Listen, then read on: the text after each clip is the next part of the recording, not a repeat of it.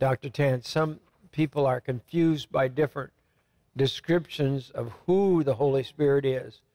Will you give us a clear explanation for who the Holy Spirit is? The Holy Spirit is God personified in us now. Amen. He isn't a bird. He isn't a wind. That's right.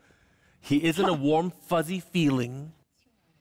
He isn't me falling on the floor. He isn't me getting up off the floor.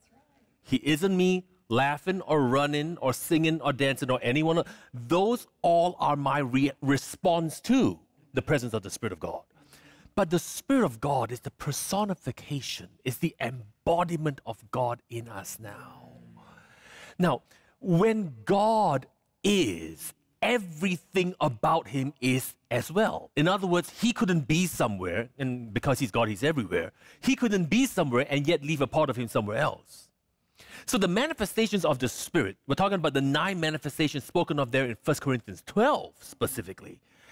Because we have the Holy Spirit on the inside of us, they we not we we need not seek the gifts per se, as long as we recognize we have the giver if I've got the, listen, I've got two boys, and because I'm their father, they have everything I have, and possibly more. and possibly more.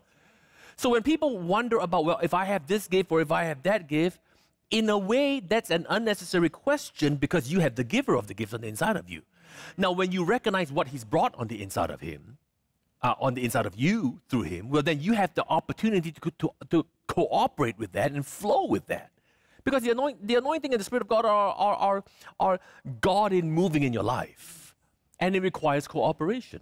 Now, this ties in perfectly uh, with the end time message that you all carry.